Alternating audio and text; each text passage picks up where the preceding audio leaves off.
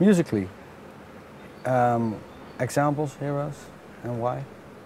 One of my um, one of my first ever memories, not just musical memories, but one of my first ever memories as uh, as a kid, was hearing loads of noise downstairs, coming down the stairs, walking into the kitchen, and, um, and my mum was playing. It was either Honky Tonk Women or Brown Sugar, and I can't remember which, but just playing the Rolling Stones really, really loud. And I hadn't got a clue what it was because I don't think at that age you appreciate what music necessarily is. But I just remember just thinking, this is brilliant, whatever it is. I like it, it's loud, it sounds good.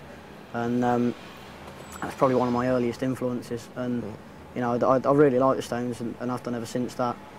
And, um, and also the Who as well. I remember, remember listening to the Who and, uh, and just thinking, this is amazing, this is, this is what this is what sound should be. Do you know what I mean? You know, at, at, at a young age, and um, and then sort of Oasis came out, and um, just sort of just made sense at the time. And I think that I think Oasis provided a soundtrack to most of my generation. You know, I think that I think that pretty much everyone our age is or at some point was massively into Oasis. And bands um, like Blur as well. Blur, genius, yeah. The Verve, Urban Also Hymns, Blur, yeah. Yeah. And and um, and and what you do is you look at those bands as well. You look at Oasis and you look at the Verve, and you start going back.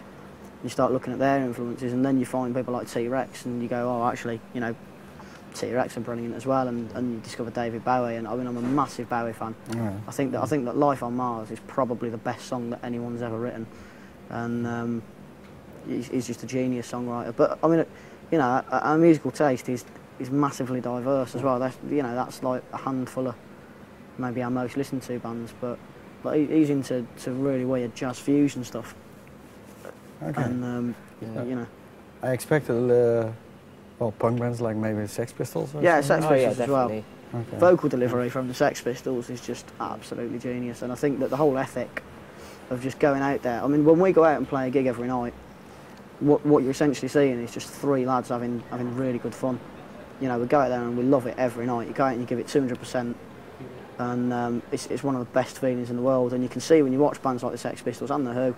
Um, Clash as well. and the, yeah, the Clash. That they're, they're just going out there, loving it, having fun, and it's nice when you when you see that and you recognise that feeling that they're having. You know, uh, and you can just you just look at them playing and you think, I know exactly how you feel, and it's it's a really euphoric feeling.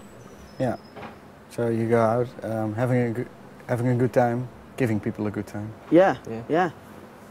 No, definitely. I mean, it's what's better than, than driving around the country or, or Europe now, apparently, with, with your two mm-hmm. best mates, you know, in, in, a, in a van or, or a bus or whatever, and it's it's brilliant fun. It's a million miles away from selling TVs. Yeah. Okay. Well, thank you very much. Yeah, no, thank you. It's brilliant.